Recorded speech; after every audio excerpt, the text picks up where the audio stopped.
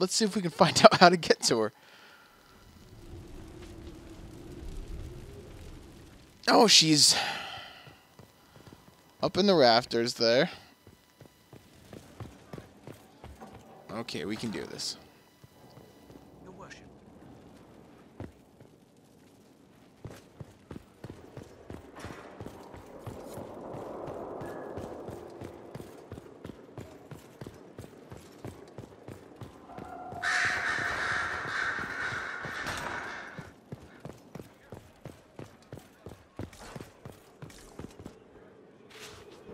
Yeah, I don't think I've been up here before.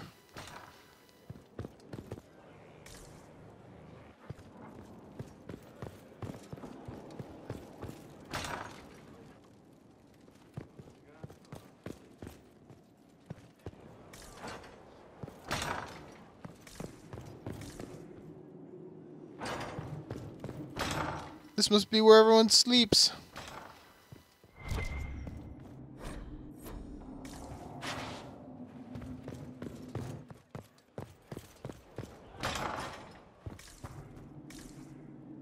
This bedroom's seen better days.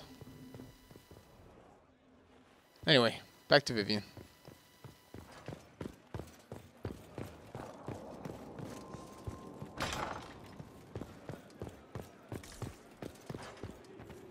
You've made such intriguing design choices for the castle, my dear. They must be inspired. Thank you, Vivienne. I'm glad you approve. When things have settled down a bit, I will take you to Val Royeaux and introduce you to my seamstress. And appearances are important. We can't have you mistaken for a commoner.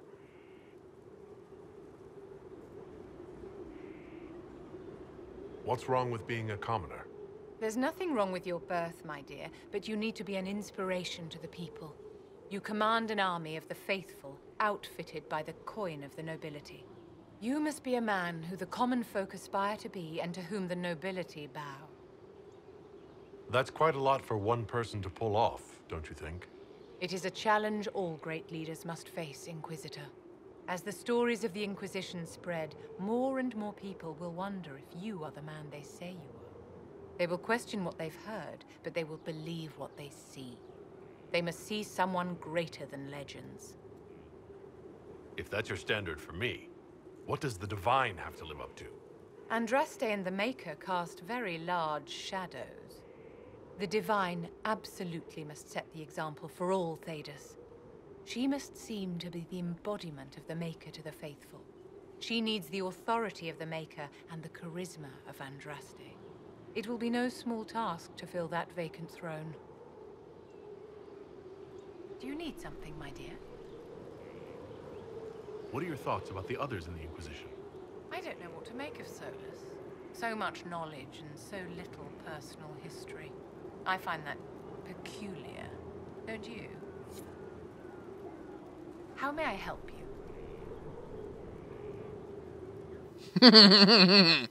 Any chance we might uh, bounce?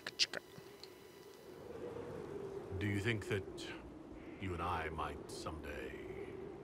Of course not, my dear.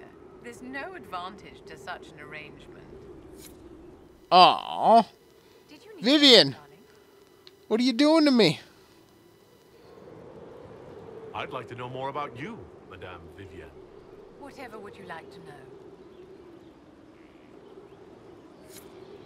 Nope, I already know all that. Okay, well that was short-lived.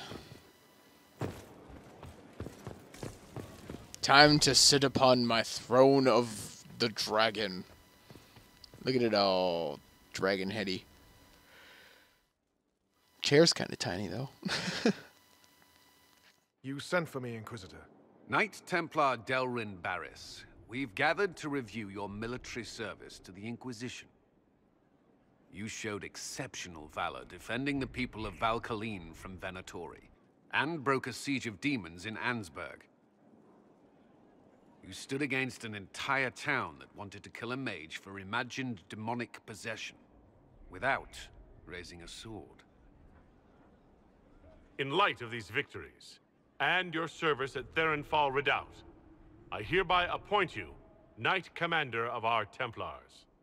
Your worship, I... I am not worthy.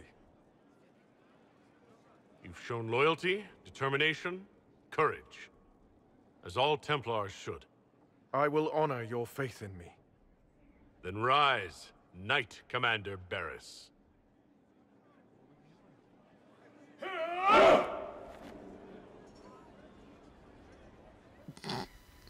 Those those guys were all the same face, height, build. They just had different hair colors.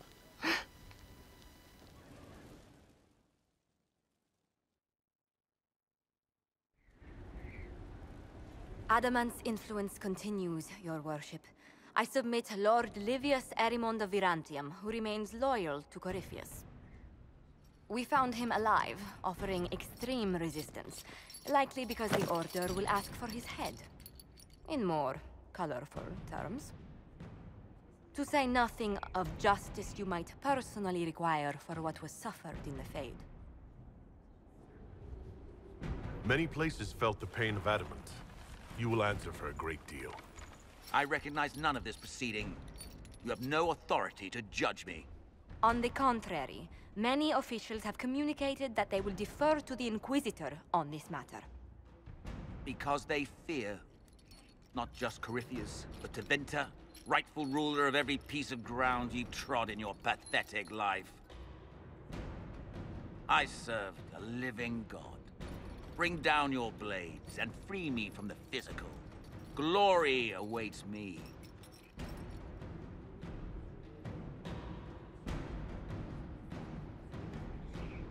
Lord Erimond, any protection you thought you had has apparently been withdrawn.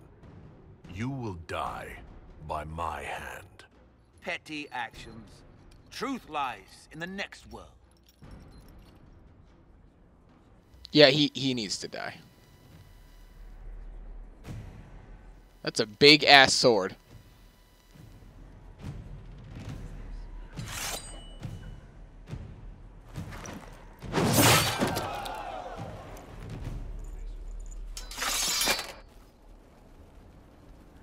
It is done!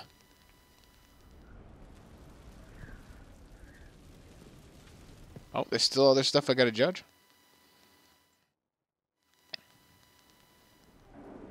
Another of the lingering pains of Adamant, your worship.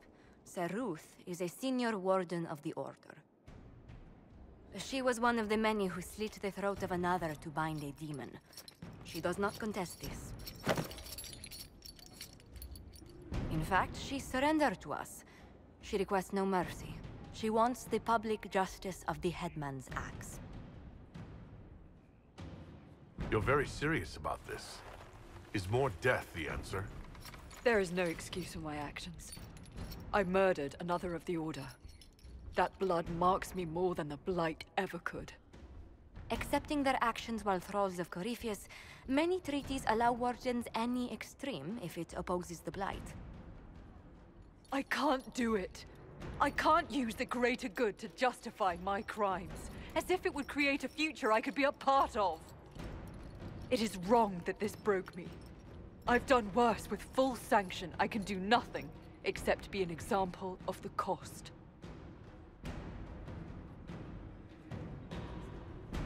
Hmm.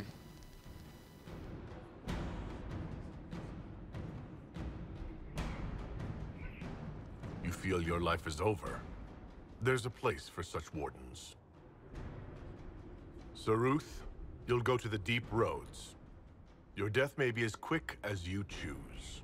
This sends no message. This is just... an end.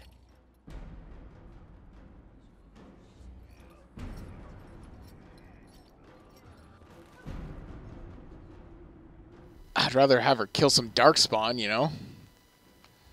Oh my god, I gotta judge more people? Man, beat important's hard. Mayor Gregory Dedrick of Crestwood is Oh, the mayor. He confesses that 10 years ago, he flooded Old Crestwood to kill refugees and villagers touched by the blight. The mayor claims it was to spare the rest of Crestwood, but we only have his word.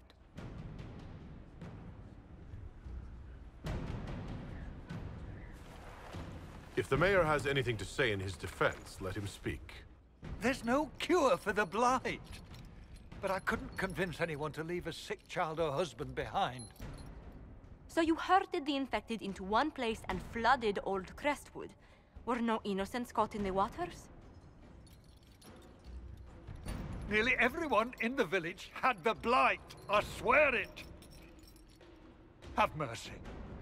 I couldn't tell the survivors I'd drowned their own families to save them. I, I, I couldn't.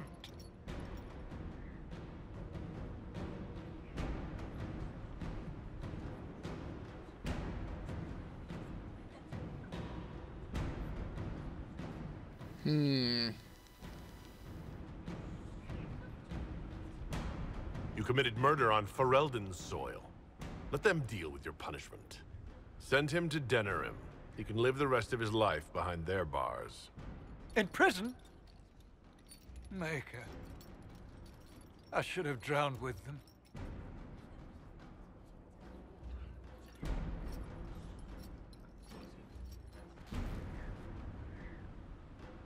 Tell me that's the last one.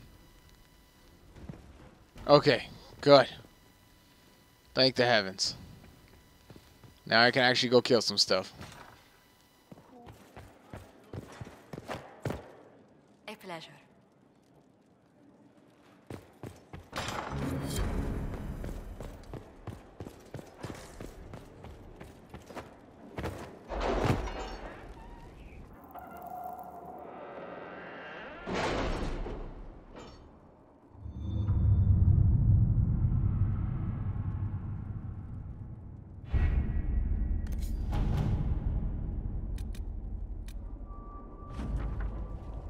For a time, finding the missing seekers seemed to be impossible. Early indications pointed at the men and women heading out one at a time into Ferelden, but here their trail went cold. A chance rumor regarding Bann Loren, a Ferelden nobleman who had not been heard from for months, led Inquisition agents to investigate Sir Oswin, and they too went silent. These events are connected, and it seems that there were missing seekers will be found.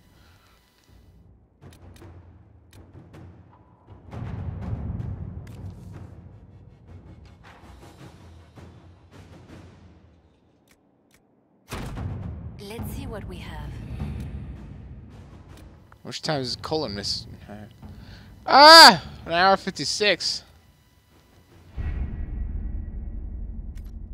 Should probably let Cassandra know about those seekers. Let's go do that real quick. And then off to battle.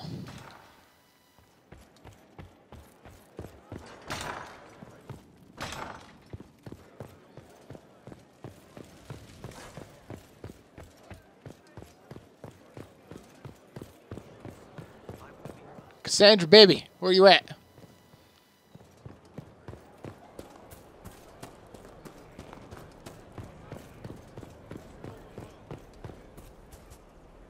I understand the Inquisition has tracked down the missing Seekers.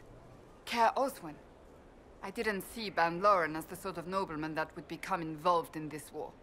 The sooner we go there, the sooner I can put this search behind me. Oh, we have to physically go there?